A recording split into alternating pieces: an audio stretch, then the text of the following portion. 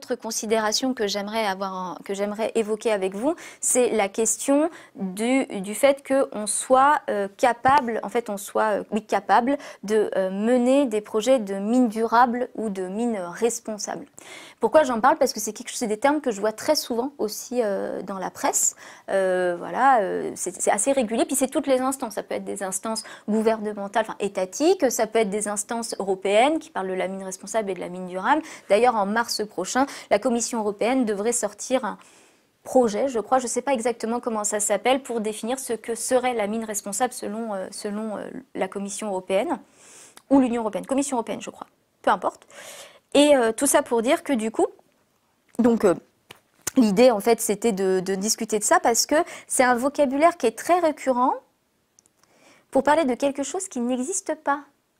Donc ça m'ennuie euh, qu'on parle de la mine durable ou de la mine responsable, alors en fait, ni l'un ni l'autre n'existe. Selon vous Selon moi et les 253 chercheurs que j'ai étudiés pour le rapport que j'ai publié la semaine dernière sur notre site internet. Oh, c'est 253 J'insiste sur le fait que euh, la mine responsable, euh, c'est plutôt un terme qui est plutôt utilisé par les Européens et Français. À l'international, vous trouverez plutôt le terme de mine durable et on parle moins de responsible mining pour mine responsable, on parle plus de sustainable mining.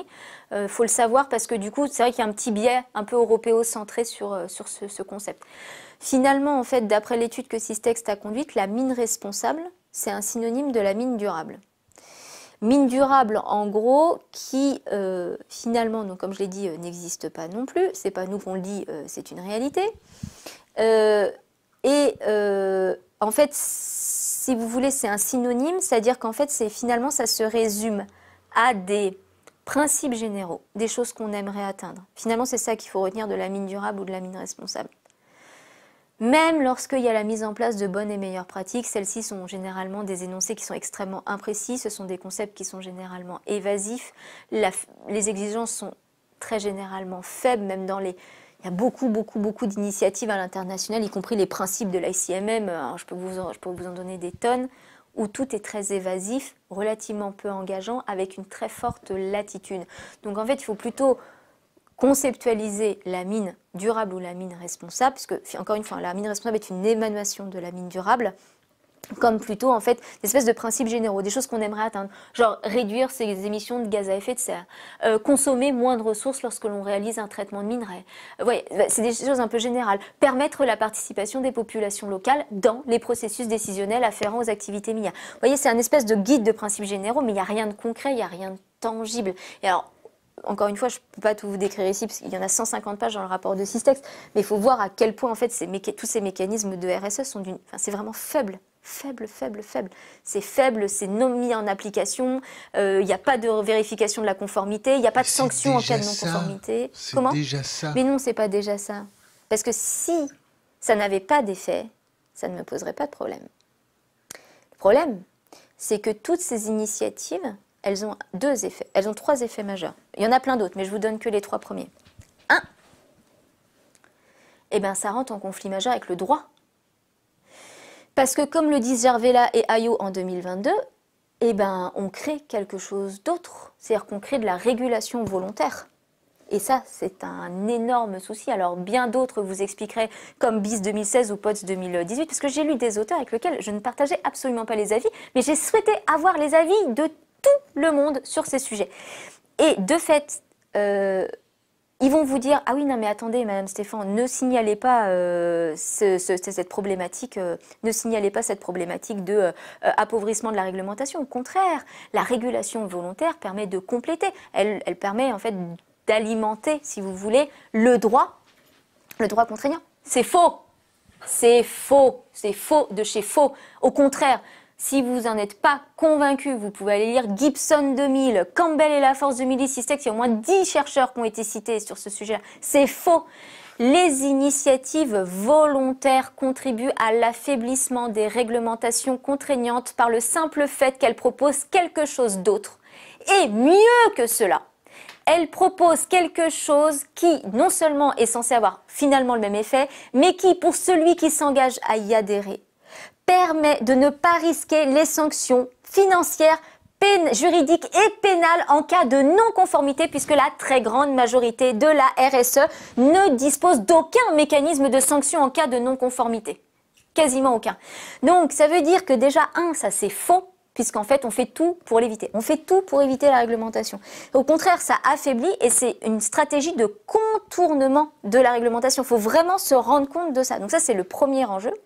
Je dirais que effectivement. Vous pensez que ça contourne la réglementation en fait, ça participe au contournement de la réglementation. C'est un outil, si vous voulez, sur lequel on se repose pour contourner euh, la réglementation. Euh, encore une fois, les auteurs que je vous ai mentionnés, en fait, l'expliquent très bien. Alors, soit effectivement avec des exemples, en, montrant en fait comment justement du coup on n'est plus en capacité finalement euh, de proposer une réglementation contraignante puisqu'on va vous dire ah non non il y, en a d'autres. Et puis après alors vous aurez beaucoup d'auteurs dans le rapport du sexe vous les retrouverez aussi qui vont même plus loin pour essayer dans cette thématique là c'est les stratégies mises en place par le secteur minier pour contrecarrer euh, les démarches euh, visant à rendre les initiatives contraignantes en tout ou partie des initiatives contraignantes. Donc ça c'est le premier moteur. Donc oui pour répondre à votre question je ne dirais pas. Euh, je dirais, comme vous le proposiez, bah, c'est déjà ça, ou en tous les cas, c'est mieux que rien. Si, un, ça ne contribuait pas à soit mettre en danger le droit, soit l'affaiblir, soit le contourner. Donc s'il n'y avait pas ça, je serais d'accord avec vous.